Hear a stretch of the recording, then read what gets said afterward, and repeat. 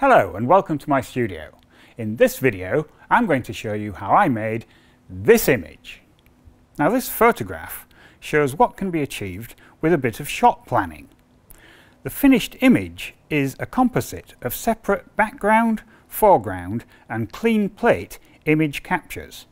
By combining the images in post-production, the finished photograph is then achieved. And in this video I'm going to show you exactly how I did it. Okay, so what we're we going to start with? Uh, I've got set up at the moment uh, a tripod here uh, and also uh, a C-stand. Now the C-stand I'm going to use to hold the subject. Now the subject is a piece of kiwi fruit which I've uh, sliced and mounted on this uh, small piece of welding rod. So what I'm going to do is just pop that in the top of this um, C-stand just like that. So I'll just arrange that. There. I find this uh, a good way to, uh, to do this because it gives you a lot of control over uh, exactly how you can place uh, your subject. Right, so the next thing would be the camera. Now I'm using this uh, digital SLR which is tethered into uh, Capture One software. On the front of this I have a 24 to 70 uh, zoom lens and on the top here I have a flash sync trigger. So we'll just place this on the top of the tripod. So, and have a go at lining everything up. So, first thing to do would just be to bring this up so that it's more or less in line with the camera. So I'll just do that by eye. And then just have a look through the camera uh, and see if we can compose the picture. Okay, so the first thing I'll do is just uh, zoom in a bit and see if we can focus that up somewhat. There we go. Now I'll just use the center column uh, just to wind that up a little there. So it's about there somewhere. Uh, and we'll just turn that round so it's pointing a little more centrally like that. Okay, so with that now composed, the next thing to do uh, would be just to turn the camera on uh, and we'll do a test exposure. So with the camera turned on, you can see that the software has recognized the camera uh, and these are the settings which is on the camera at the moment. So it has 100 ISO, uh, 50th of a second with a 2.8 aperture. So if I just grab an image like that, this will tell me just what contamination we're getting from uh, the house lights. And as you can see from the image here, uh, we're actually getting quite a lot. Now this can um, cause contamination to your finished picture. Uh, at the very least, it will give a colour cast uh, to everything that you probably don't want. So in order to get rid of that, I'm just going to change these settings uh, to something that I can use with flash illumination. So the first thing I'm going to do is change the um, shutter speed from a 50th of a second to the flash sync speed for that camera which is 1 250th of a second. And also I'm going to change the aperture from 2.8 um, to a more reasonable f8 to give me a bit more depth of field. So with these new settings I'll grab another image. Okay, now in this image you can see that there is actually nothing at all and that's exactly what we want. So by doing that it means that all the illumination from now on will be coming from the flash. So that's what I'm going to set up next. So this is the studio head that I'll be using today. This is a Profoto B1X uh, and I'm going to place this um, behind the subject in line with the camera. Uh, that way the subject will actually hide the flash gun. Uh, so in order to make this work you've actually got to place it quite a long way back. So I'm going to take it all the way back here. We'll place it about here somewhere. Now in order to get this to line up properly, I find the easiest way to do it uh, is to use um, the uh, tethering in the camera. So what I can do on here is introduce a thing called live view. So if I just click on this icon, that will open the shutter on the camera and if I increase the ISO to make the camera temporarily a little more sensitive and I take it up to 32,000 ISO uh, and I can uh, again temporarily just bring the shutter speed uh, back down to maybe a 50th and that will then give me an image on the screen. So by watching the image on the screen uh, and moving the uh, light in the background I can make the whole thing line up. Let me show you what I mean. So if I just bring this a little closer for instance uh, and I'll just turn this on uh, and again temporarily I'll just turn the modelling light on. Okay so now you can see that I can easily line up where this needs to be so I'll just take it back a bit more watching the image on the screen I can get it in more or less the right position. There's something about there should do me. I might take it back a bit further. The further back you take it, the easier it is to actually line it up. So about there. Once I've done that, I can turn the modelling light out. Okay. So now I can just dispense with the live view, reset my ISO and shutter speed, and with an arbitrary energy set on the uh, flash, uh, I will just uh, grab an image. So I'll just turn the flash sync trigger on and grab an image. Okay, and you can see from this that straight out of the, uh, the can, that's not too bad at all. Um, I've no idea what the energy is, but really it doesn't really matter uh, as long as you've uh, got the result you want. Uh, so I think that's uh, looking pretty good. Uh, in fact, I'll just have a close look around the edge. Yes, I think that's worked quite well. It's possibly a little over, uh, but then again the, the centre detail is actually quite nice. So just for completeness, what I can do now is uh, I'll just take um, a stop off the energy of the light uh, and just to see what the difference is. So I'll just take it down by one stop. Yeah, I think having done that little exercise, uh, I'm better off with the extra stop. So we'll just pop that back. Are. Okay, now this time I'm going to grab the image uh, from here so I have no chance of disturbing the camera at all. There. So that has given us uh, the first of our images that we're going to combine into the final photograph. The next thing to do uh, would be to capture uh, a background. Here we go. So I've swapped out the uh, flash head for this uh, background. And this is just a piece of card uh, which I've got hanging from this uh, C-stand. So once again, I'm going to employ um, the live view in the tethering to set this up properly.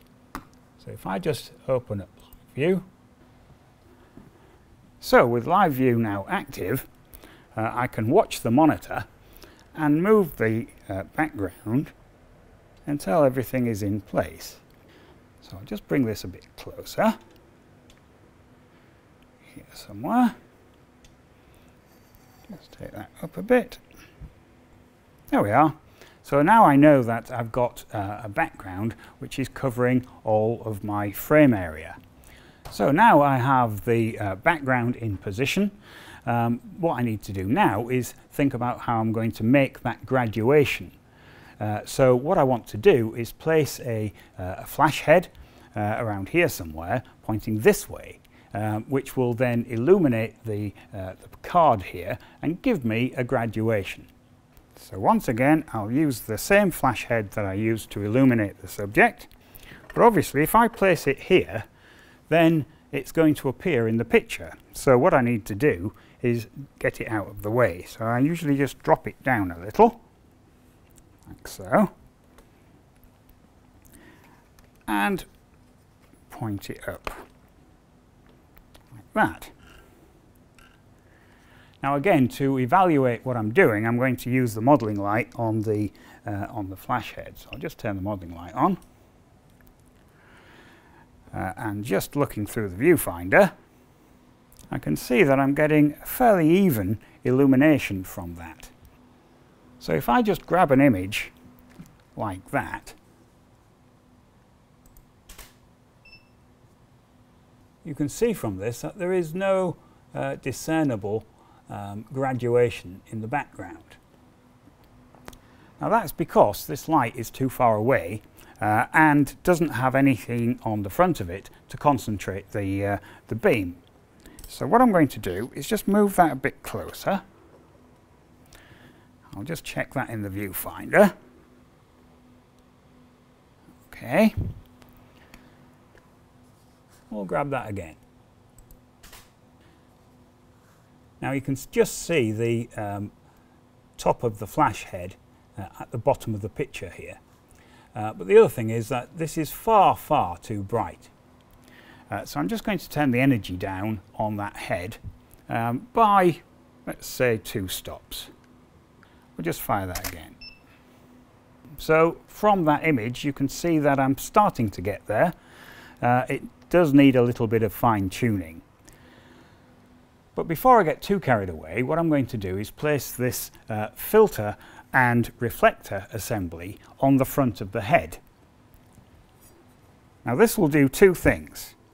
The first of all, it will colour the light, as you can see, uh, and secondly, it will concentrate it. So now you can see that on the background here, you're getting uh, quite a concentrated spot. It's probably not lined up uh, precisely at the moment. Uh, I'll just have a little look and see where it is. Yeah, it's a bit low, and also the head, um, this part of the head is actually in the picture. So I'm just going to lower that, like so, and possibly just point that up again. A bit like that. I'll just grab another image from the software. There we are, that's starting to get there. You can see the um, graduation is uh, falling off quite nicely. It's still not quite in the right place. I think it just needs to go up ever so slightly more. So I'll just adjust that.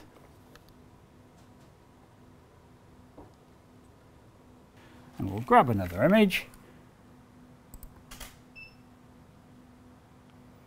There, that seems to have worked uh, pretty well.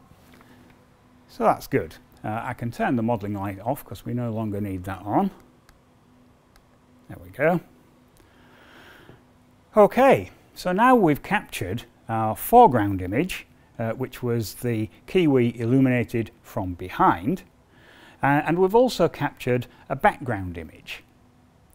Uh, but I also need a thing called a clean slate. Now a clean slate is just the background without any foreground at all.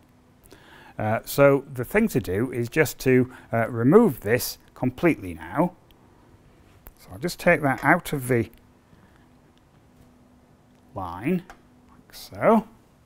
Being very careful not to touch the camera or the uh, other light or the background for that matter. Uh, and now I'll just grab yet another image there. And that will give me uh, what is referred to as this clean slate. Okay, so with those three separate images now captured, it's time to go into Photoshop and do the post-production. So here we are in Photoshop and I've loaded up the three images that we captured. So this is the foreground image this is the background image and this is the clean slate. This is the background without anything in the foreground. So the first thing I need to do is just make a stack of all three of these images. So I'm going to go to File, come down to Scripts, then just go across to Load Files into Stack. I'll ask it to add the open files and I'm just going to click on OK. I'm not going to bother with attempt to automatically align sources uh, because with a graduated background like this uh, it will find it very difficult to do. So I'm just going to click on OK. There we are and Photoshop has made um, this stack of these different layers. So with the foreground image at the top of the stack here what I'm going to do is just change the blend mode for this particular image. Uh, so I'm just going to go from normal uh, and go to um, either lighten, which works quite well, or lighter colour, which also works quite well. I think I'll actually just go with lighter colour. And what this will do is combine these two images um, with the lightest parts of uh, the first image overlaying the second. So you, in fact you can see exactly what it's done. If I turn this on and off, that's what we had before and that's what we've got now. So we're almost there really just with those two images. But we do need to just get rid of this um, support. And that is where this final layer at the bottom comes in. So if I select the image which is one up from it, which is this one here. So that's the background, the one we can see now. Uh, and I'm just going to add a layer mask to that, like so. Now, uh, the layer mask is currently empty. So if I paint on that layer mask, it will reveal what is below it, which is the, uh, the clean slate. So if I just make sure my foreground colour is black and pick a paintbrush. Uh, we're going to need a reasonable size to start with. Maybe a bit bigger still. Uh, and very soft. So just starting right at the very bottom here, if I just paint that through, what it's actually doing is revealing the layer that's underneath it. Uh, and incidentally, if I go too far, if I go right up here into the, uh, into the fruit itself, then um, I can always correct this because it's only a mask. It's not doing anything to the actual image itself. So if I now, instead of painting with black, paint with white, uh, I can put this part of the kiwi back. But I don't want a, uh, a soft uh, brush anymore. Uh, so this time I'm just going to change that to being quite hard and maybe a bit smaller. And I'll just paint that bit back in. I'm doing this very quickly, you could take a bit more care, but you get the idea. Okay, so that's got rid of the support. Uh, we still have this small gap. Uh, so what I'm going to do now uh, is just make a stamp uh, layer of all of these different layers. So deselect all the layers by just clicking outside of them and then hold down the Shift key, the Control key, the Alt key and press the E key on the keyboard and that will make this stamp layer which is the one that I've got at the top. Now what I can do on this one is just a little uh, simple cloning uh, just around this area just to bring uh, some detail back. So first of all, I'm just going to zoom in and pick a clone tool. And now just going from uh, around here somewhere, uh, I'll hold down the Alt key on the keyboard, which gives me the target. So I'll just pick that area as a target. And now moving that area back over, I can just paint that in, like so. Just alter a few bits around it as well, like that. There we are. So with those two little things done, it just remains to um, pick a crop and this image is very nearly done. So I'll just find a ratio. I like to use 16 by 9 because it fits the videos very well. Um, and I'm just going to recompose that ever so slightly uh, just to bring it down a little bit, just to center it like that.